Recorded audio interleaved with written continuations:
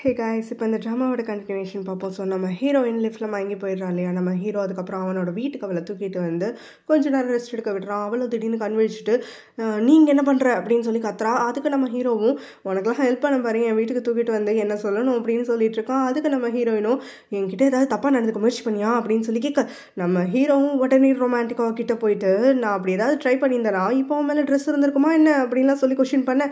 அவளோ சி ஏன்டா இவ்வளோ டர்ட்டியாக பேசிட்டு இருக்க? அப்படின்னு சொல்லி கேட்குறா அதுக்கு நம்ம ஹீரோவும் யார் டர்ட்டி மைண்டடாக ஃபஸ்ட்டு ஆரம்பிச்சா அப்படின்னு சொல்லி கேட்க ஹீரோயின் அவனை பிடிச்சி தள்ளி விட்டுட்டு அங்கேருந்து அவளோட அப்பார்ட்மெண்ட்டுக்கு ஓடி போயிட்டு அவளோட பெஸ்ட் ஃப்ரெண்ட் ஃபோன் பண்ணி என்ன ஆச்சு? உன்னோட மெசேஜ் இப்போ தான் பார்த்தேன். எஸ்கேப் ஆகிட்டியா அப்படின்னு சொல்லி கேட்க ஆமாம் லிஃப்ட்லேருந்து ஒரு வழியாக ரெஸ்கியூ பண்ணி வெளியில் வந்துட்டேன் அப்படின்னு சொல்கிறா நம்ம ஹீரோவும் ஹீரோயின் பண்ணுறது எல்லாமே க்யூட்டாக இருக்குன்னு சொல்லி அவளை பற்றியே யோசிச்சுட்டு உட்காந்துட்ருக்கான் அடுத்த நாள் அவனும் அவனோட எக்ஸ் கேர்ள் ஃப்ரெண்டும் வேறு ஒரு பிளேஸில் இருக்கிற ஒரு பேக்கரிக்கு போகிறாங்க அவன் நிறைய கேக்ஸ் எல்லாம் ஆர்டர் பண்ணிட்டு உன்னோட ஃபேவரேட் பேக்கரி உன்னோட கேக் கேக்ஸ் எல்லாம் நான் ஆர்டர் பண்ணி வச்சிருக்கேன். நீ என்ன சாப்பிடாம இப்படி இருக்க அப்படின்னு நம்ம ஹீரோ இதெல்லாம் வந்துட்டு எனக்கு இப்போ பிடிக்காம போயிடுச்சு அப்படின்னு சொல்லிட்டு இருக்கான். அதுக்கப்புறம் அவளும் என்ன பேசுறதுனே தெரியாமல் அப்படியே உட்காந்துட்டு இருக்கான்.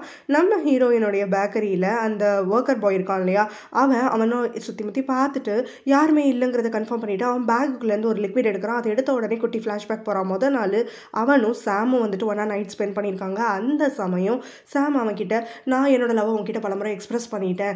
என்னோட ஃபீலிங் வந்து எவ்வளோ உண்மையானதுங்கிறத நான் உனக்கு ப்ரூவ் பண்ணிட்டேன். ஆனால் நீ அந்த மாதிரி என்கிட்ட எதுவுமே ப்ரூவ் பண்ணலையே. என்னோட ஃபீலிங்ஸ் எல்லாம் உண்மை அப்படிங்கிறதெல்லாம் நம்பணும்னா நான் சொல்கிற ஒரு வேலையை நீ எனக்காக செஞ்சு ஆகணும் அப்படின்னு சொல்கிறான் உடனே அந்த பையனும் என்ன வேலை? அப்படின்னு சொல்லி கேட்குறான் அதுக்காக தான் இப்போ அந்த பையன் வந்து அங்கே நம்ம ஹீரோயினும் அவளோட பெஸ்ட்டையும் இல்லாத சமயம் வந்து ஒரு பேக்லேருந்து ஒரு லிக்விட் எடுத்து அங்கே இருக்கிற எல்லா கேக்ஸ்லேயும் ஆட் பண்ணுறான் அவன் ஃப்ரீசர் கிட்ட இருக்கிறத பார்க்குற நம்ம ஹீரோயினும் அவளோட பெஸ்ட்டையும் கொஷின் பண்ண அவனும் இல்லை இங்கே ஃப்ரீசர்லேருந்து திடீர்னு ஏதோ சவுண்ட் வந்துச்சு. அதனால தான் என்னன்னு செக் பண்ணலான்ட்டு வந்தேன் அப்படின்னு சொல்கிறான் அவன் சொல்கிற பதில் அவங்க நம்பிடுறாங்க. அந்த இடத்துக்கு சாம் வரான். வந்த உடனே நான் இங்கே ஹெல்ப் பண்ணட்டுமா? என்ன எதெல்லாம் சொல்லி கேட்டுட்ருக்க? நம்ம ஹீரோயினும் அவளோட பெஸ்ட்டையும் ரெண்டு பேரும் இந்த ஷாப்பை வந்து கொஞ்ச நேரம் ஹேண்டில் பண்ணிட்டுருங்க நாங்கள் ரெண்டு பேரும் உள்ளே போயிட்டு புதுசாக ஆர்டர் இருக்கிறதெல்லாம் வந்து முடிச்சுட்டு வரோம் அப்படின்னு சொல்லிட்டு போகிறாங்க கொஞ்ச நேரம் கழித்து அந்த ரெஸ்டாரண்ட்டுக்கு கஸ்டமர்ஸ்லாம் வர ஆரம்பிக்கிறாங்க. அப்போ அங்கே கேக்கை டேஸ்ட் பண்ணுறவங்க எல்லாருமே ரொம்ப கேவலமாக இருக்குது என்ன கேட்டு போன கேக்ஸ் எல்லாம் கொடுக்குறீங்க? ஆன்லைனில் ரிவ்யூ பார்த்துட்டு தான் ரொம்ப தூரத்துலேருந்துலாம் இங்கே வந்தோம் அப்படின்னா சத்தம் போட்டுட்டு போகிறாங்க நம்ம ஹீரோயினும் அந்த கேக்கெல்லாம் டெஸ்ட் பண்ணிவிட்டு இது என்ன எப்படி எல்லா கேக்குமே இப்படி கெட்டு போன மாதிரி ஆயிடுச்சு அப்படின்னு சொல்லி யோசிச்சுட்டு இருக்கா. அவளோட பெஸ்ட்டையும் கண்டிப்பாக இது யாரும் சதி பண்ணியிருக்காங்க அப்படின்லாம் சொல்ல சாம் உடனே எதுக்கு அவ்வளோ தூரம்லாம் யோசிக்கிற? அது ஃப்ரீசரில் ஏதாவது ப்ராப்ளம் இருந்து ஃப்ரீசரில் வந்துட்டு ஒர்க் ஆகாமல் போயிருக்கோம் அப்படின்னு சொல்கிறான் ஹீரோயினுடைய பேக்கரியில் கேக்ஸ் எல்லாமே வந்துட்டு அப்படியே கெட்டு போயிடுச்சுங்கிற மாதிரி ஆன்லைனில் நியூஸ் பரவிட உடனே அந்த அப்பா பொண்ணு பேக்கரி இருக்கு இல்லையா அதில் வந்து கூட்டம் பிச்சுக்கிட்டு கிளம்போது அந்த அப்பாவோ அதுக்கப்புறம் சாமை மீட் பண்ணணும்னு சொல்லி வர சொல்கிறாரு அவனுக்காக வந்து பணம்லாம் கொடுக்குறாரு. பணம்லாம் எனக்கு வேண்டாம் அங்கிள் எனக்கு இதுவே வந்து ஒரு மாதிரி கில்ட்டியாக இருக்குது உங்களுக்காக தான் நான் வந்துட்டு இதை பண்ணியிருக்கேன். சின்ன வயசுலேருந்தே எனக்கு பல ஹெல்ப் நீங்கள் பண்ணியிருக்கிறதுனால அதை திருப்பி பண்ணணுங்கிறதுக்காக தான் நீங்கள் கேட்ட விஷயத்த நான் செஞ்சுருக்கேன் அப்படின்னு சொல்லிட்டு இருக்கான். நம்ம ஹீரோயினும் அவளோட பெஸ்ட்டையும் சாம் இங்கே யார் கூட உட்காந்து பேசிட்டு இருக்கானே அப்படின்னு சொல்லி வெளியிலேருந்து பார்த்துட்டு உள்ளே வராங்க. உள்ளே வந்த உடனே அந்த ஆள் முகத்தை மறைச்சிக்கிட்டு ஓடி போயிடுறாரு. அப்போ நம்ம ஹீரோயினும் அவர் எதுக்காக ஓடுறாரு அப்படின்னு சொல்லி கேட்க அதெல்லாம் ஒன்றும் இல்லை. அவர் சும்மா இந்த ரெஸ்டாரண்ட்டுக்கு வந்தவர் ஸ்ட்ரேஞ்சர் தான். எதர்ச்சியாக வந்து பேசிக்க ஆரம்பிச்சோம் டேபிள் ஷேர் பண்ண பண்ணதுனால அவ்வளோதான் நான் இந்த ரெஸ்டாரண்ட்டுக்கு அடிக்கடி வருவேன் அப்படின்னு சொல்லிட்டு ஏதோ சமாளிக்கிறான். நம்ம ஹீரோயினும் அவனோட பெஸ்ட்டையும் இந்த கேக்கோட மேட்டரை வந்து தலையை பிச்சுட்டு இருக்காங்க. எப்படி எல்லாம் வீணாக போச்சுன்னு சொல்லிட்டு ஒரு நாளில் ஆன்லைனில் அவங்களுக்கு இருந்த நல்ல பேர் எல்லாமே வந்து அப்படியே ஸ்பாயில் ஆகிட. நம்ம ஹீரோயினும் புதுசாக வந்து ஒரு வீடியோ பண்ணுறேன் அப்படின்னு சொல்லிட்டு அதில் கஸ்டமர்ஸ் எல்லாருக்கும் மன்னிப்பு கேட்டுட்டு நாளைக்கு வந்து வரவங்களுக்கு நாங்கள் அப்பாலஜி கிஃப்டாக வந்து கேக் ஸ்லைசஸ் வந்துட்டு ஃப்ரீயாக டிஸ்ட்ரிபியூட் பண்ணுறோம் அப்படின்லாம் சொல்லிடுறாங்க. அந்த சமயம் நம்ம ஹீரோனோட அம்மா அவளுக்கு கால் பண்ணி நாளைக்கு நான் வந்து உன்னை பார்க்கறதுக்கு வரேன். டின்னருக்கு உன் பாய் ஃப்ரெண்டை வர சொல்லு அப்படின்னு சொல்லி காலை கட் பண்ணிவிட நம்ம ஹீரோயினும் அவளோட பெஸ்ட் ஃப்ரெண்ட் கிட்ட புலம்பிட்டு இருக்கா நம்ம ஹீரோவை எப்படி போய் கூப்பிடுறதுன்னு சொல்லி அவனோட டோருக்கு வெளியில் நின்று நம்ம ஹீரோயின் ரிஹர்சல் எல்லாம் பண்ணிட்டு இருக்க. ஹீரோவும் வேலையை முடிச்சுட்டு அப்பதான் வீட்டுக்கு வரான். என்ன என் டோர் கூட பேசிட்டு இருக்க அப்படின்னு சொல்லி அவனும் கேட்க நம்ம ஹீரோயினும் சர்க்காஸ்டிக்கலாக பேச. ரெண்டு பேரும் வந்துட்டு திரும்ப வாக்குவாதத்துலலாம் இன்வால்வ் ஆகுறாங்க. நம்ம ஹீரோயினும் அவங்க அம்மா வரப்போகிற விஷயத்த எப்படியோ மென்னு முழுங்கி அவங்ககிட்ட சொல்லி திரும்ப ஃபேக் பாய் ஃப்ரெண்டாக நடிக்கிறதுக்காக வந்துட்டு ரெக்வஸ்ட் பண்ணுறான் பட் நம்ம ஹீரோவும் சரி நீ கிட்ட கெஞ்சி கேளு நான் வந்துட்டு செய்கிறேன் அப்படின்னு சொல்கிறான் அதுக்கு அவளும் மறுத்துறான் அதுக்கப்புறம் நம்ம ஹீரோவும் சரி எனக்கு ஒன்றும் இதில் லாஸ் கிடையாது. உங்கள் அம்மாக்கு எல்லாம் உண்மையை தெரிஞ்சுட்டா? எனக்கு வந்து சந்தோஷம் தான் நடிக்கிற வேலை மிச்சம் பாரு அப்படின்னு சொல்லி அவனோட அப்பார்ட்மெண்ட்டுக்குள்ளே போயிட்டு நம்ம ஹீரோயினும் அவனை சமயம் திட்டிகிட்டே இருக்கா. அடுத்த நாள் அவங்க அம்மா வந்துட்டு ரெண்டு பேரும் சேர்ந்து நிறைய ஃபுட்டெல்லாம் ரெடி பண்ணி வைக்கிறாங்க.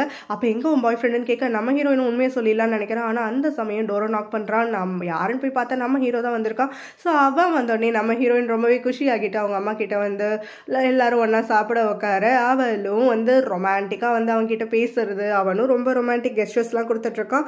சாப்பிட்டு முடிச்சதுக்கு அப்புறமா ரெண்டு பேரும் சேர்ந்து டிஷ் வாஷ் பண்ணுறாங்க அப்போ ஆக்சிடென்டெல்லாம் டச் பண்ணிக்கிறது ஆக்சிடென்டெல்லாம் ரொம்ப க்ளோஸாக மூவ் ஆகுறது. அது எல்லாம் அவங்க டே போயிட்டு இருக்கப்போ ஒரு கட்டத்தில் அவங்க ரெண்டு பேருமே தங்களை மறந்து கிஸ் பண்ண வர அவங்க அம்மாவோ நான் இன்னும் இங்கே தான் இருக்கேன் அப்படின்னு பார்த்துட்டு சவுண்ட் கொடுக்க நம்ம ஹீரோவும் சரி எனக்கு டைம் ஆயிடுச்சு நான் கிளம்புறேன்னு சொல்லிட்டு கிளம்பிடுறான். நம்ம ஹீரோயினோட வீட்டை வீட்டில் வெளியில் வந்த உடனே ஹீரோயினை பற்றி அவன் நினச்சிட்டே இருக்கப்போ அங்கே வர எக்ஸ் கேர்ள் ஃப்ரெண்டோ நீ என்ன உன் வீட்டில் இருந்து வெளியில் வராமல் பக்கத்து வீட்டிலேருந்து வெளியில் வர அங்கே யார் இருக்கா யார் கூட பேசிட்டு வர அப்படின்லாம் சொல்லி கொஷின் பண்ண நம்ம ஹீரோ நீ தப்பாக பார்த்துட்டு நினைக்கிறேன். நான் ஏன் டோர் வழியாக தான் வெளியில் வந்தேன்? எனக்கு வெளியில் கொஞ்சம் வேலை இருக்குது நான் கிளம்புறேன். நீ கிளம்பு அப்படின்னு சொல்லிட்டு அங்கேருந்து போயிடுறான். ஹீரோயின் அவங்க அம்மாவோட டைம் ஸ்பெண்ட் பண்ணிட்டு இருக்கப்போ திடீர்னு அவளோட பெஸ்ட்டி கால் பண்ணி அவளை வர சொல்கிறான் அவளும் ஓடி போயிட்டு என்ன ஆச்சு? அப்படின்னு பேக்கரியில் பார்க்குறப்போ அவங்க திரும்ப பண்ணி வச்சிருக்க கேக்ஸ் எல்லாமே ஸ்பாயில் ஆயிருக்கு.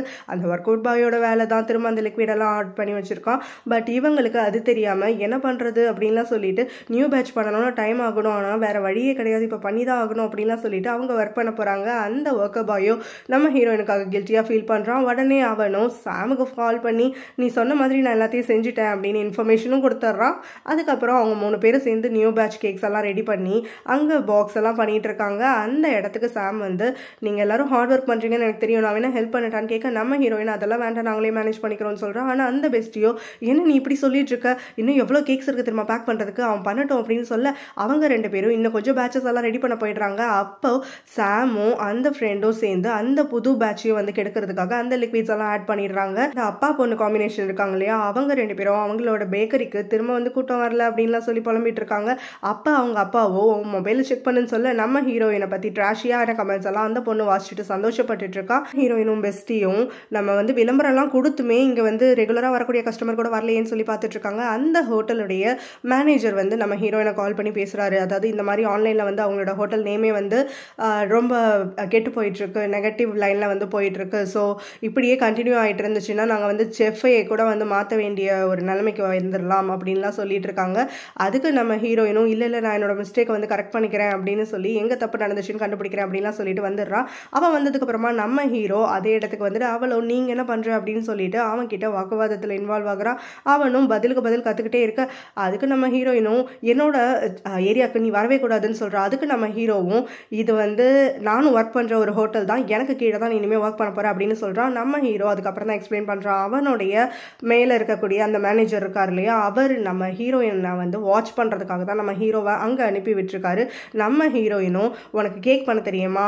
குக்கீஸ் பண்ண தெரியுமா? எதுவுமே தெரியாதுல்ல அப்படி இருக்கவனுக்கு என் கிச்சனில் என்ன வேலை அப்படின்னு சொல்லி அங்கேருந்து கிளம்பி போகிறா வெளியில் சாமும் அந்த ஒர்க்கர் பாயும் பேசிகிட்டு இருக்க நம்ம ஹீரோயின் சாமத்தை பிரித்து தர தரன்னு இழுத்துக்கிட்டே என் கூட மூவி பார்க்கவான்னு சொல்லி இழுத்துட்டு போயிடுறா.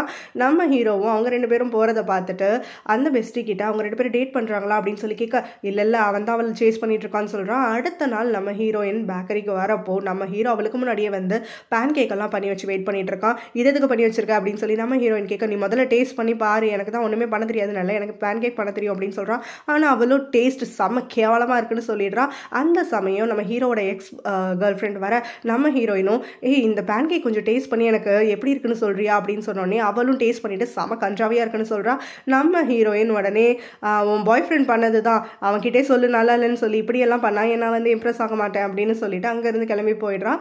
நம்ம ஹீரோயினும் பெஸ்ட்டியும் வேலை முடிச்சு பேக்கரியை க்ளோஸ் பண்ணிட்டு வர வரைக்கும் அந்த ஒர்க்கர் பாய் அவங்களுக்காக வெயிட் பண்ணிட்டு இருக்கான். என்ன ஆச்சு? அப்படின்னு சொல்லி கேட்குறப்போ அவன் என்ன சொல்கிறான்னா எனக்கு இப்போ ஒரு புதுசாக ஒரு ஆசை வந்திருக்கு. நிறைய பணம் சேர்த்து வச்சு என்னோட சொந்த ஊருக்கு போய் பேக்கரி வந்து ஓப்பன் பண்ணணும்னு.